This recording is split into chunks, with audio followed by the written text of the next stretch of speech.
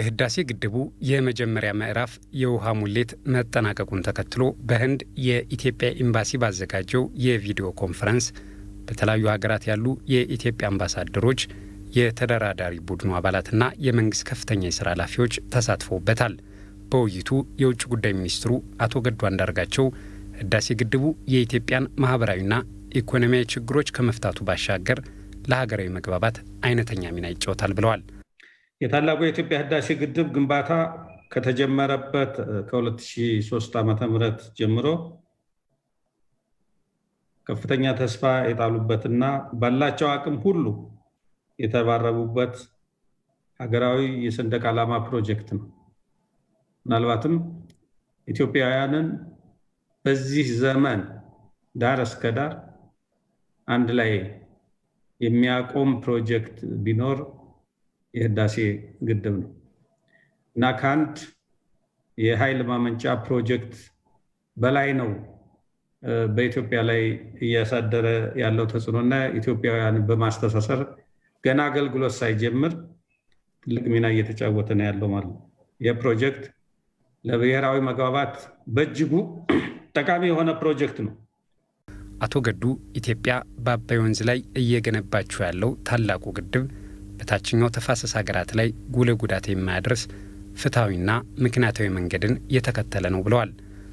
ሀገራችን የአባይ ወንዝን በመጠቀም ዙሪያ አብሯት በዘለቀው የመልካም ጉርብትና መርህና ዓለም አቀፍ ሕግን የማክበር ባህል መሰረት ባደረገ መልኩ በታችኛው የተፋሰስ ሀገራት ማለትም በግብፅና በሱዳን ላይ ጉልህ ጉዳት ባለማድረስ በፍትሐዊና ምክንያታዊ መንገድ ይህንን ውሃ ለመጠቀም ነው እንቅስቃሴ እያደረገች ያለችው። ይህ ሂደት ሀገራችን በአባይ ተፋሰስ ውስጥ በውሃው አጠቃቀም ላይ ዓለም አቀፍ ሕግን እና የጋራ ተጠቃሚነትን መርህ የሚያሰፍን አሰራር እንዲመጣ የምታደርገው ጥረት አካልም ነው። በውጭ ሀገራት የሚገኙ ኤምባሲዎች፣ ቆንስላዎች፣ ምሁራንና ዲያስፖራዎች ለኢትዮጵያ ብሔራዊ ጥቅም መከበር የድርሻቸውን እንዲወጡ አቶ ገዱ አንዳርጋቸው ጠይቀዋል። ግብጾቹ ከዚህ ትራዲሽናል ይዘውት ከመጡት እጅግ ኋላ ቀር ከሆነ አስተሳሰብ ለሀያ አንደኛው ክፍለ ዘመን በምንም መንገድ የማይመጥን አስተሳሰብ መላቀቅ የፈለጉ አይመስልም። ስለዚህ ይህንን አጀንዳ በለመዱት መንገድ ይዘውት የሚቀጥሉ ስለሆነ ትግሉ ገና ተጀመረ እንጂ አላለቅም። ከዚህ አንጻር የሚስዮን መሪዎቻችን፣ ሚስዮኖቻችን በጠቅላላው ኢትዮጵያውያን ምሁራን፣ ዲያስፖራዎች እና የኢትዮጵያ ወዳጆች የኢትዮጵያን ፍትሐዊ አቋም እንዲገነዘቡ እና ለሌላውም እንዲያስረዱ፣ በሌላ መልኩ ደግሞ የግብፅ ኢፍትሐዊ የሆነ ሁሉንም ልጠቀም አይነት አስተሳሰብ የተጠናወተው አቋም ትክክል አለመሆኑን በማጋለጥ ለኢትዮጵያ ብሔራዊ ጥቅም መከበር ብቻ ሳይሆን ለፍትህ ለተፋሰሱ ሀገራት ፍትሐዊ ተጠቃሚነትም የበኩላችሁን ድርሻ በማያቋርጥ ሁኔታ መወጣት ይኖርባቸዋል የሚል እምነት ነው ያለኝ።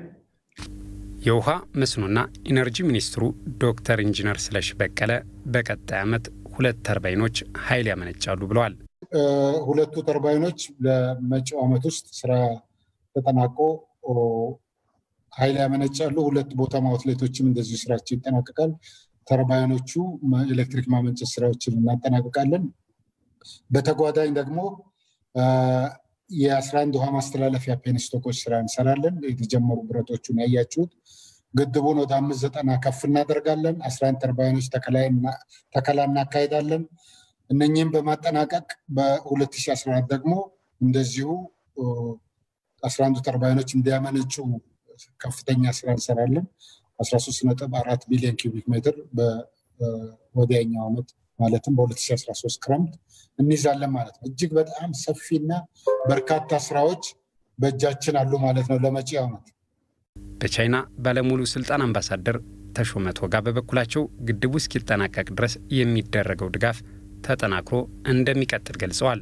ከግብፅ ጋር ከሱዳን ጋር እየተደረገ ያለው ድርድር እጅግ ውስብስብ ነው። ብዙ ውጣ ውረድና እንዲህ አስጨራሽ የሆነ ፈታኝ ሁኔታ ተቋቁማችሁ የኢትዮጵያን ብሔራዊ ጥቅምና በአባይ ላይ የመጠቀም መብታችን በዘላቅነት ለማረጋገጥ በመትጋት ላይ ካላችሁ ተደራዳሪዎቻችን እና ከመንግስታችን ጎን መቆማችንን በቀጣይ ለሚደረግ ድርድርም እንደዚሁም ደግሞ ግንባታው የህዳሴ ግድብ ግንባታው ቀጥሎ የሚሰሩ ፕሮጀክቶች አቅማችን በፈቀደ ሁሉ በፋይናንስ፣ በእውቀት፣ በክህሎት እና በሌላ አቅም የፈቀደውን ድጋፍ እጥፍ ድርብ አድርገን ለመቀጠል ቃላችንን በዚህ አጋጣሚ በሁሉም ተሳታፊዎች ስም ማረጋገጥ እንወዳለን።